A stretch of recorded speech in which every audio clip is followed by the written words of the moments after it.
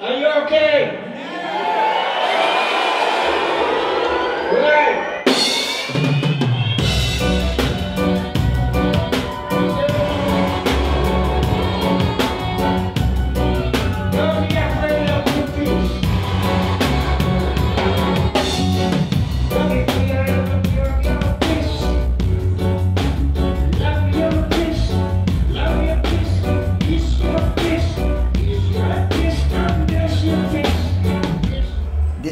The people who love the music.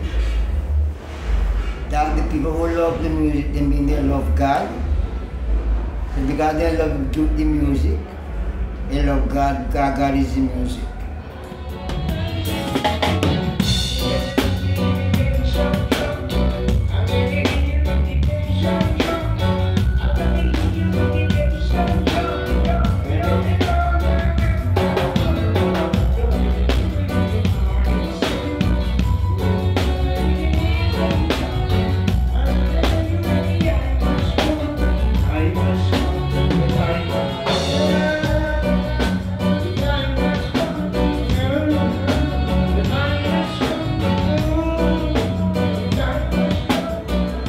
When I came here first, before we start to um, have different band, we'll have um, a, a, a woman playing bass and call the band Sunko. I've ever heard of that band lady. Years ago, more than 25 years ago. She was the bass player in the band, she called the band Sunko. So we were touring here a long time with that new band until the band famous and then the of style.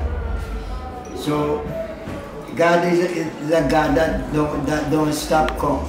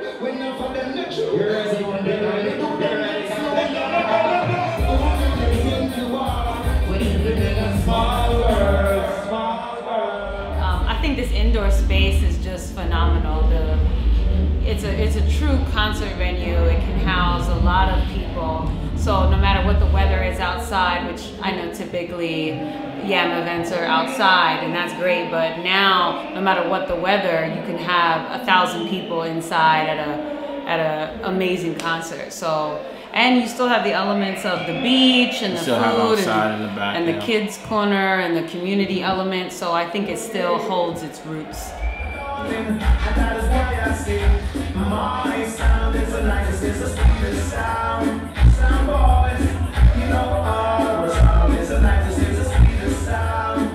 Um, we we just two artists coming up in New York at the same time, um, DJing some of the same spots, and we started doing parties together.